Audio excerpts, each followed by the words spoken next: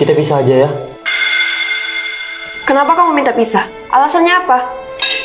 Aku bosan dengan lauk yang sama, muka yang sama, dan kehidupan yang sama setiap harinya. Aku nggak setuju. Alasan kamu nggak masuk akal. Oh, yaudah. Mau sekalipun kamu nggak setuju, kita bakal tetap pisah. Aku sudah suka sama orang lain.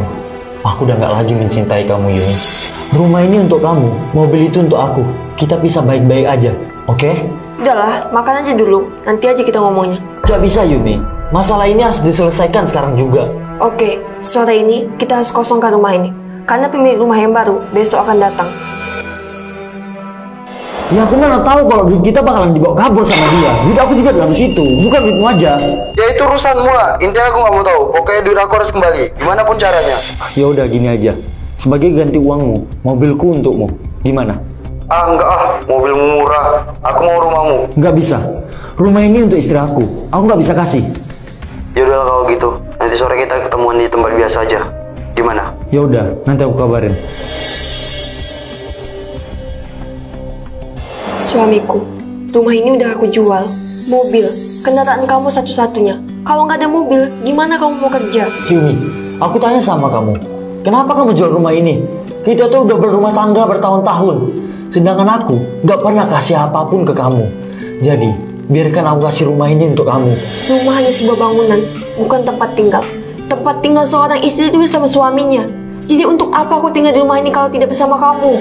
Yuni, bagaimana aku bisa membahagiakan kamu? Sedangkan aku tidak pernah memberikan kamu apa-apa. Itu yang kamu rasakan, bukan aku yang merasakan.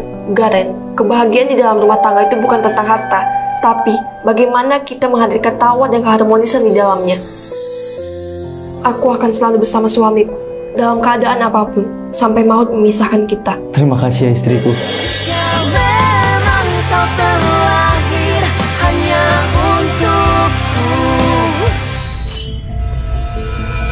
Ada apa ini?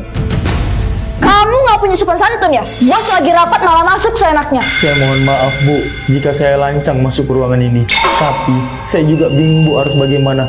Bu Samantha, saya minta tolong turunkan gaji kami tiga bulan yang belum Ibu bayarkan. Gaji, gaji, kamu itu siapa?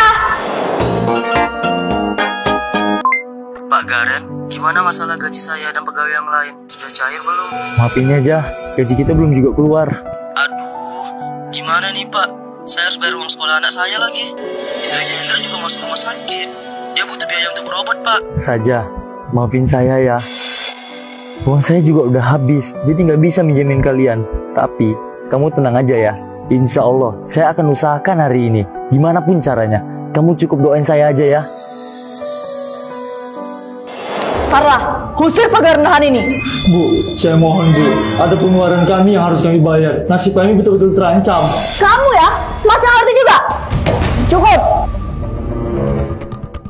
Ibu Samantha, kenapa bisa terjadi masalah besar seperti ini?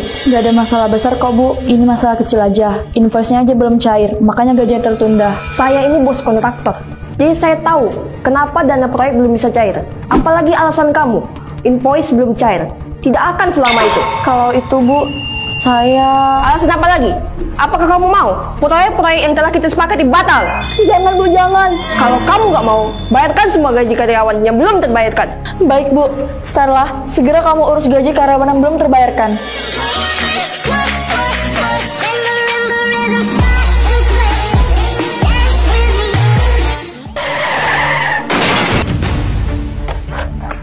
Mas, kamu nggak apa-apa? Gak apa-apa Bu, kalau begitu saya permisi, saya lagi buru-buru.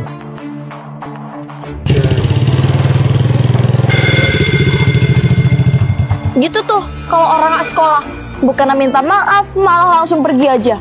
Untung mobil ibu nggak lecet. Ayo kita masuk ke dalam, kita cari dia.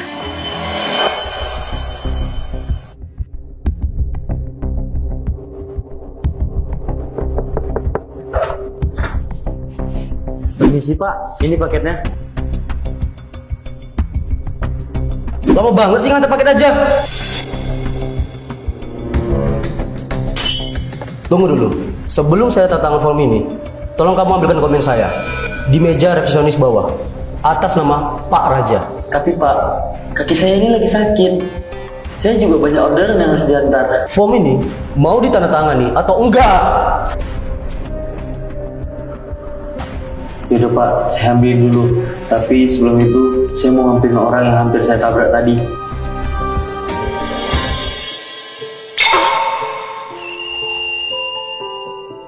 Ini kan mobil orang yang hampir kutabrak tadi.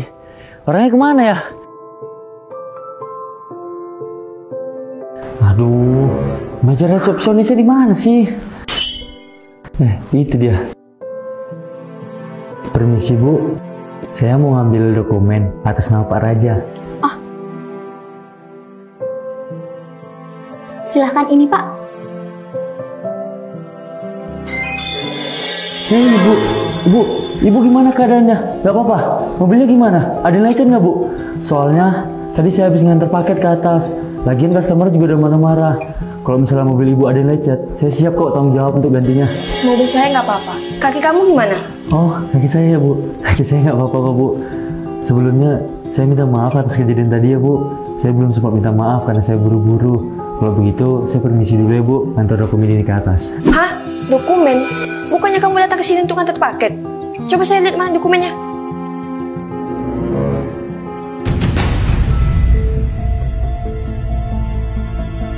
Ke bagian resepsionis sekarang. Maaf bos, ada apa ya bos? Kenapa dokumennya ini bisa sama dia? Tadi bos saya nyuruh dia bawakan ke atas bos. Emangnya kenapa ya bos? Saya nggak mau banyak basa-basi lagi. Kamu saya pecat. Kamu udah buat dia celaka. Dan sekarang, kamu nyuruh dia ke bawah untuk ambil dokumen ini. Hargai dan hormatin orang jika ingin diperlakukan hal yang sama. Mas, kalau kamu mau, mulai besok, kamu bisa bekerja di sini sebagai manajer keuangan saya. Kamu mempunyai integritas yang sangat bagus dalam diri kamu. Dan saya sangat suka itu. Hai,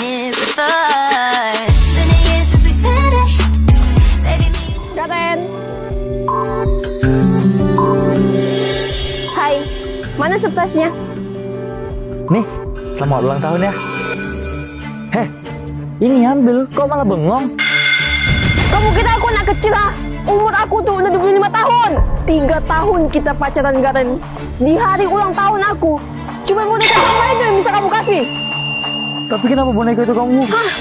Udah, cukup. Tiga tahun aku nunggu kamu. Ternyata penantian tiga tahun itu berujung sia-sia. Kita pisah aja.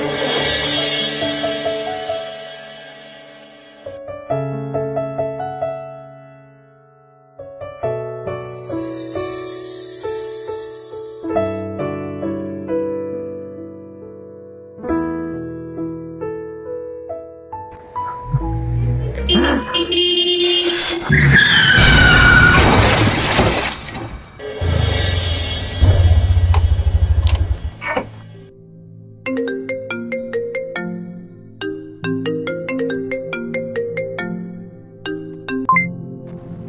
halo. Halo, apa benar ini dengan Ibu Yumi? Iya, saya sendiri. Ini siapa ya? Saya dari pihak Rumah Sakit Family Citra, Bu. Nomor Anda telah dijadikan kontak darurat oleh Saudara Garen di HP-nya. Saya ingin memberitahukan bahwa Saudara Garen sekarang mengalami kecelakaan.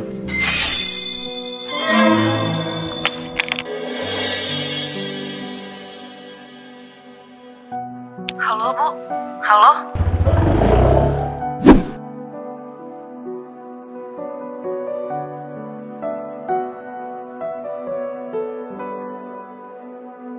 Mbak, pasien atas nama Garen ruangan nomor berapa ya? Di lantai dua kak, tepat di sebelah kiri dekat tangga. Dok, itu boneka punya pacar saya. Saya turut berduka cita ya.